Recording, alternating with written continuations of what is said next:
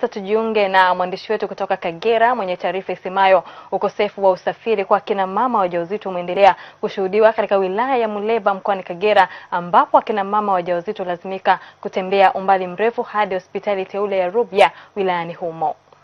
Baadhi ya kina mama waliozungumza na mwandishi wetu katika maeneo mbalimbali ya visiwani e, wilayani Muleba wamepaza sauti zao kwa serikali wakiomba kusaidiwa kupata usafiri wa majini wa kipekee utakaowawezesha kufika hospitalini kwa wakati ili kupata huduma. Taarifa zaidi anao mwandishi wetu Charles Mwebea kutoka mkoani Kagera. Si jambo la kustajabisha katika hospitali teule ya Rubya wilayani Muleba mkoani Kagera kuona baadhi ya watu wakipakia maiti kwenye pikipiki kwa ajili ya kwenda kufanya maandalizi ya mazishi majumbani mwao. Si hao tu, bali wengine hulazimika kutembea kwa miguu umbali wa zaidi ya kilomita hamsini hadi katika hospitali hiyo kwa lengo la kujipatia matibabu, huku wengi wanaokumbwa na adha hiyo wakiwa ni akina mama wanaokaribia kujifungua.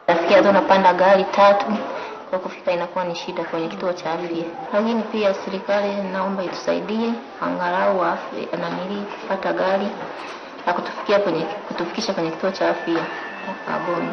Hilda Sikabanga ni mkazi wa kisiwa cha Ikuza, moja ya visiwa ishirini na tisa vya wilaya ya Muleba ambavyo hutegemea hospitali hiyo ya Rubya, ambaye amejikuta akipoteza mtoto baada ya kuchelewa kufika hospitalini hapo kutokana na mtumbwi aliyosafiria kukumbwa na dhoruba ndani ya ziwa. Ilifika katikati, tukaona wimbi ikaja kubwa, likatumwagia maji, tukaroana sote, mtumbwi ukayumba kidogo.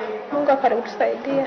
Kwa upande wa serikali naweza kuishauri labda uweze kuweka boti kwa ajili ya emergency. Wakiweka hiyo boti iwe ni kwa ajili ya watu kuwatoa majini kuwapeleka nchi kavu kwa haraka haraka.